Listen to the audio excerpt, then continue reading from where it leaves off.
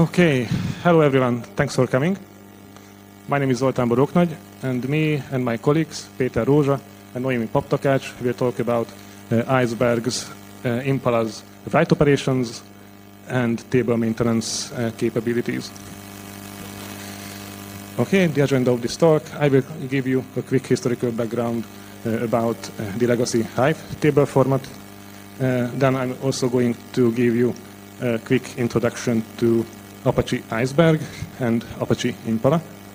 Then Peter will take over and he will talk about the row-level modifications like the delete, update, and merge statements. Then Noemi will continue with the table maintenance operations, the drop partition, optimize, and rollback and expire snapshot operations. Okay, let's start with the historical background. So, what were the legacy uh, Hive tables? So, basically, these were the simplest things that you can imagine. If you had a folder on a distributed file system, and if you have put uh, similar data files into that folder, then there you have it. Uh, you could have your table. Uh, the data files need to have the same schema, which means they had uh, the same columns, and they were also in the same format, which means they were all text files, or Parquet, or ORC. And this simplicity is very good for interoperability because it was very easy for compute engines to interoperate between each other because if they were able to write the data files or read the data files, then they were able to uh, interact with the tables. And okay, so you have one table, but obviously you would need to have multiple, many more tables in your system. And here comes the Hive meta store uh, in the picture. So the Hive meta store uh, is the source of information if you want to know what kind of tables you have in your system. The tables are also organized into databases. And for each table, the Hive meta store can tell you where you can find them in the file system and what is, that, uh, what is the schema of your table and what is the file format the tables are using. Okay, things a tiny bit more complicated than that because you could also partition your table. For example, in this example, the table is partitioned by year. Uh, this means that under the table directory, you have this year equals 2023, and also you can imagine that you can have uh, other uh, year partitions. and also these partitions can be partitioned further, so the year partition can be partitioned further by months, and also in the months partitions you could have the day partitions. The Hive Metastore also stored information about the partitions, like where you can find them, and also some extra information. okay, but this simplicity comes with some uh, shortcomings, because if you uh, wanted to do more advanced uh, uh, operations on your tables, it was, wasn't really feasible with Hive tables. For example, there were no ACID operations. Or, or you, could, you could have an atomic operation if you were able to execute it via an atomic file system operation. For example, uh, you can atomically insert data files into a single partition. That's an atomic uh, operation, but you cannot insert data files to multiple partitions because you cannot do it with a single file system operation. uh, level modifications were also not really feasible because you had to rewrite uh, all the uh, data files. Peter will talk more about this. A small file issue is hard to tackle with this. With the old Hive tables, Noemi will delve into this. The schema evolution, like changing your columns, was also not really feasible. And operations like rollback or time travel uh, was not uh, possible because the system does not store the states, the historical states of your table. Partitioning is very inflexible. Only value-based partitioning is supported. And this, in this example, when we have the your partition, uh, you can imagine that it works the following way, like you have a timestamp column, but you want to partition your data based on the component of that timestamp column. Which means if there is a user who wants to insert data to your table, they need to manually extract the year component of the timestamp and manually add it to the insert statement. and also if you wanted to write uh, efficient queries, you manually had to add the partition predicates to your query statement. Otherwise, you would end up with uh, full table scans. Also, since the partition layout is coming from the uh, file hierarchy, from the directory hierarchy, it is not really feasible to change the partitioning of the table because you have to rewrite everything. so here comes Iceberg to the rescue. Iceberg is a new generation table format for huge data sets. So it defines what metadata is stored about the tables, how this metadata is stored, and how the data files can be organized on the file system. And as for the interoperability, uh, Iceberg also comes with a Java library, which means that compute engines can use this Java library to easily interact and interoperate with the Iceberg tables. Okay, so here is the anatomy of the Iceberg table, of one Iceberg table. Uh, at the bottom, you can see the data files. In Iceberg tables, you, uh, you can have uh, data files with uh, three different formats supported, like Parquet. You, you, can have Parquet files, ORC files, and Avro files. But the secret source of Iceberg uh, resides here in this blue area. This is the Iceberg metadata layer. This is a hierarchical structure of, uh, of, uh, of, metadata files. At the, uh, at the root of this hierarchy, there is this metadata file, which is just a simple JSON file. It contains a schema of your Iceberg table, the partitioning layout, and it also has a pointer to the current data snapshot of your Iceberg table. And following that pointer, you can discover the current state of your table. Uh, you can see that this table went over uh, multiple modifications, so you can see the historical states of your table. And from the current metadata file, you could also reach the earlier snapshots of your table, which means you can do time travel queries. okay, so with this metadata layer, uh, Iceberg supports quite advanced functionalities like ACID operations with uh, snapshot isolation. Uh, it's uh, possible to change the schema of your table. You can add new columns, rename columns, restructure columns. Uh, partitioning is much more flexible. So not only value-based partitioning is available, but transform-based partitioning is available, which means if I follow the earlier example, when you had the timestamp column, you can tell Iceberg that, okay, you want to partition your table based on applying a year partition transform on your timestamp column, and Iceberg and the query engine will do that for you, which means if you want to insert data into your table, you don't need to manually extract the year component when you query your table, you don't need to manually add the partition predicates. And still things will be uh, very efficient. okay. Uh, Iceberg also allows you to change the partitioning of your table without rewriting the existing data files, which means if you change the layout, then the new data uh, will be inserted corresponding to the new layout. Sorry. Time travel queries are also possible because you can uh, also reach the earlier states of the table. But the focus of this talk is the row level modifications and table maintenance operations, but Peter and Noemi uh, will talk about the details. Okay, let's have a few slides about uh, Apache Impala. So Apache Impala is a distributed uh, database engine. It has an MPP style architecture. MPP, MPP means massively parallel processing architecture. And that means uh, Impala has a coordinator component, uh, so you can pass SQL query statements to this coordinator.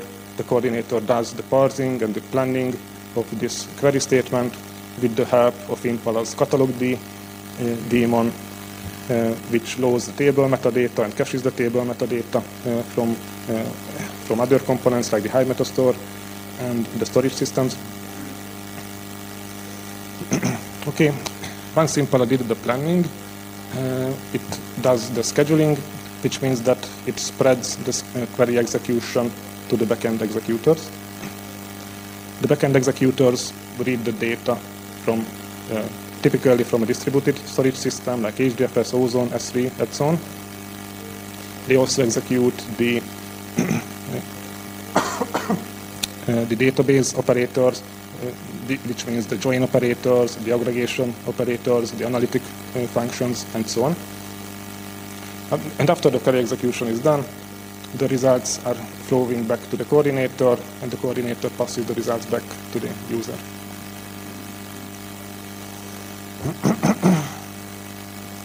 okay, Impala is a hybrid project, which means some parts of it is written in Java, the parts that are uh, do the planning and, and parsing, and these are the parts that interact with the Iceberg library. As I mentioned, Iceberg has a Java library, and Impala has a C++ based backend, which means for query execution, we don't use the Iceberg library. So we are using Impala's very own uh, uh, file scanners and, and other operators. Impala is highly optimized for query performance, so it caches everything that it can and also does runtime code generation via LLVM to speed up the queries.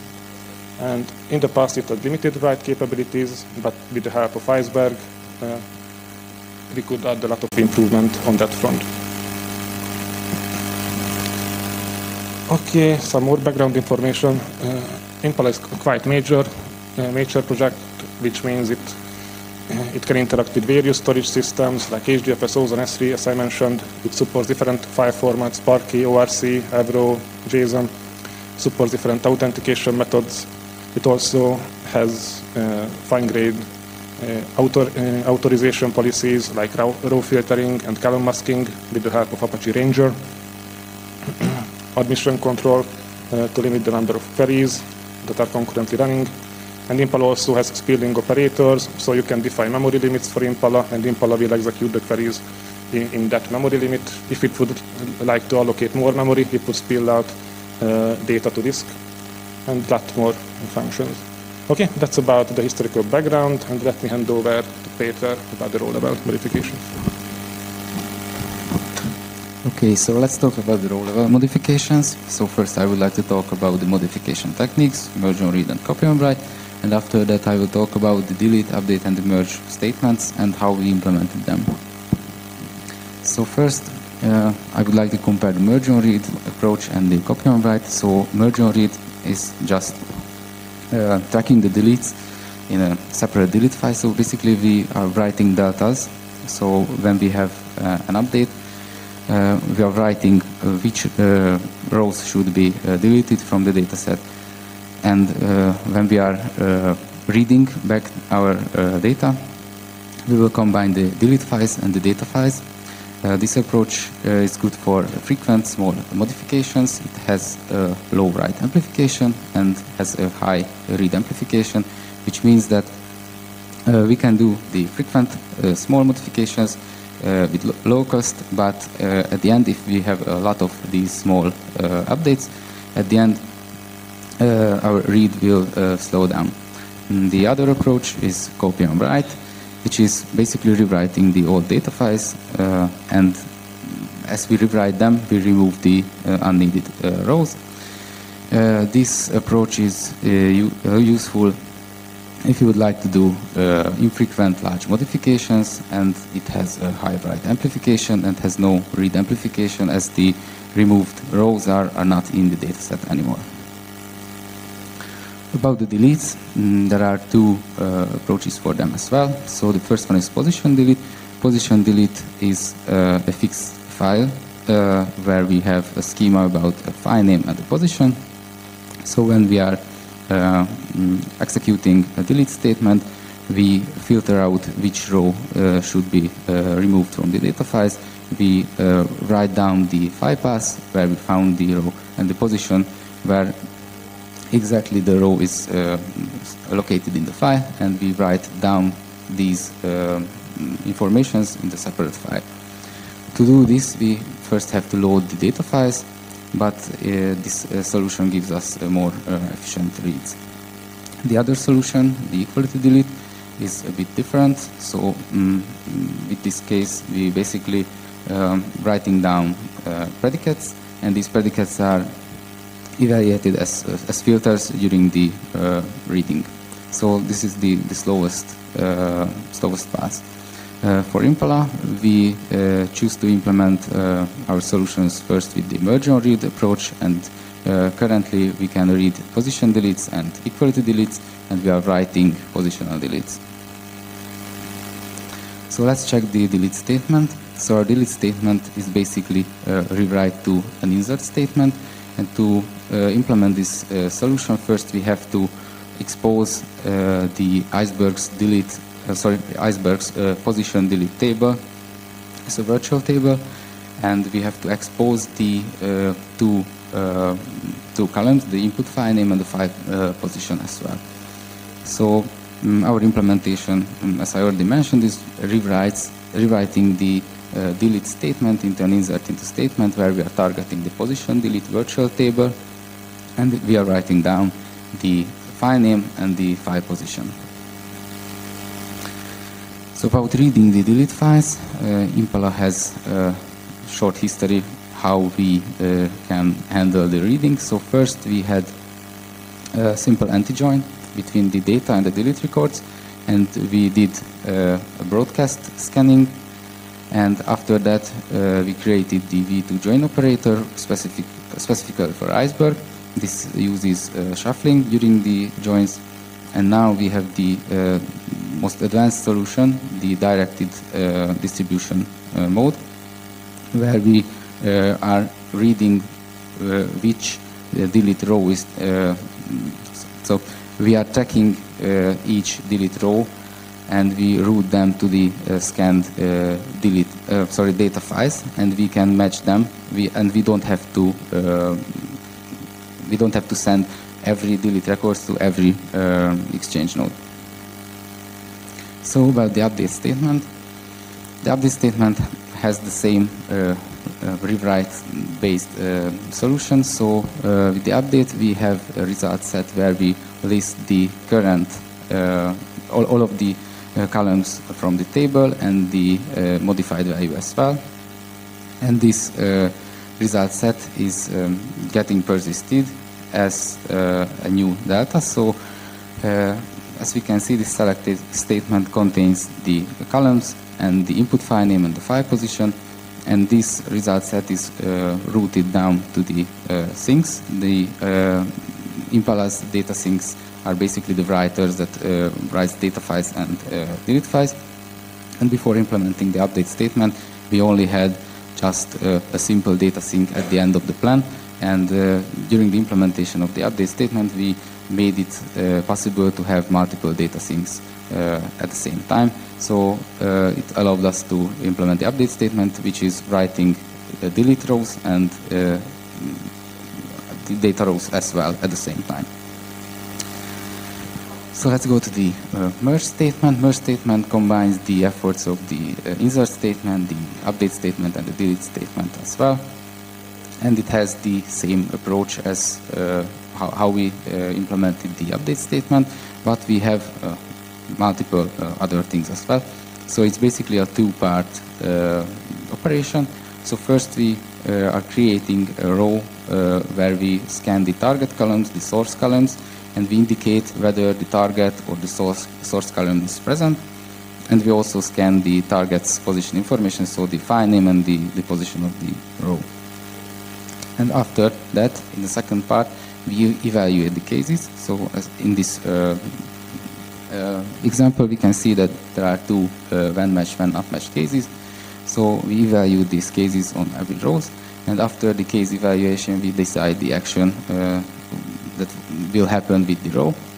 So uh, in these cases, if there is an update statement, we will have to write an update, uh, sorry, delete file and data file. If we have an insert, then we can write just uh, the data file. And if we have a delete, then we have to write a delete file. So uh, for uh, achieving this, we have to uh, create a new sink as well. The merge sink is a specialized multi-data sink which contains an insert sink and a delete sink. And as I uh, already mentioned, uh, based on the merge action, the data sink will route the roles to, the, um, to, to their respective things. and I would like to give the microphone to Noemi.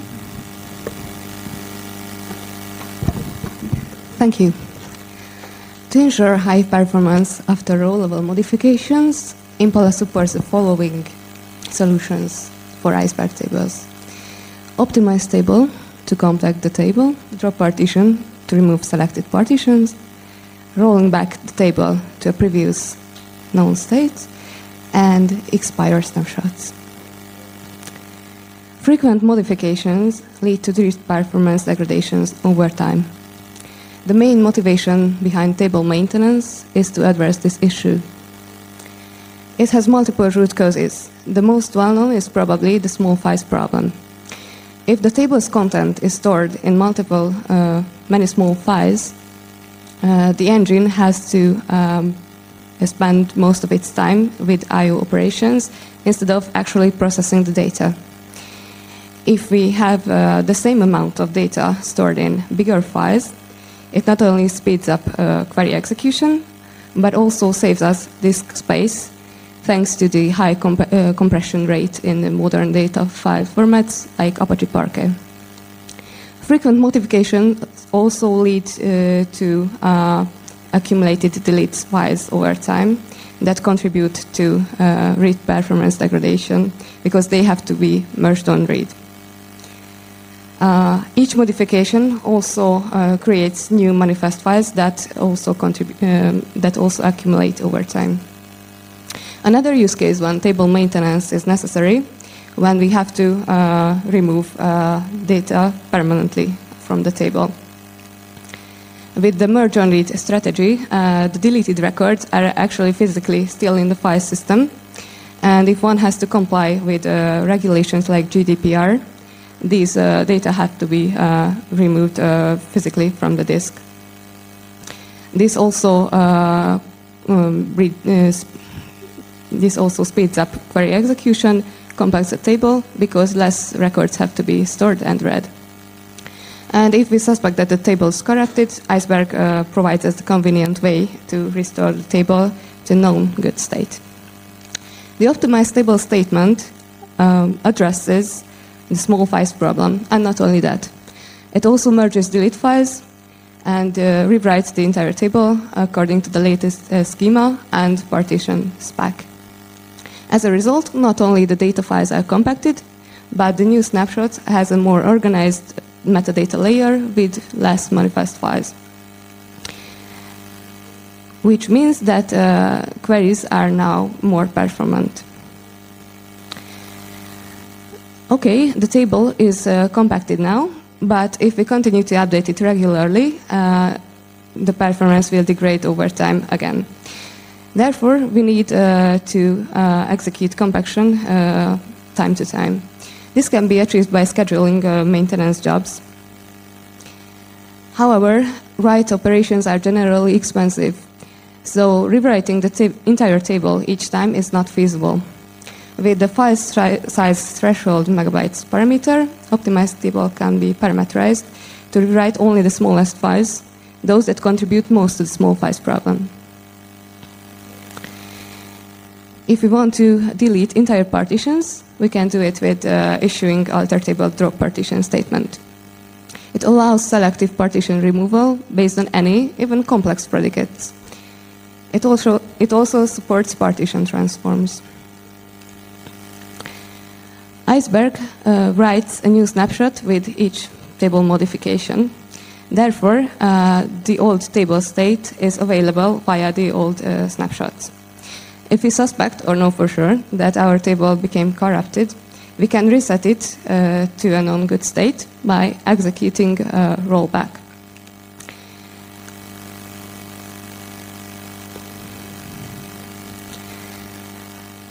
The snapshots uh, accumulate over time, and uh, this uh, causes uh, the metadata uh, of the table to explode if we are certain that we no longer need uh, um, the old snapshots, we can uh, remove them by issuing alter table execute expire snapshots command.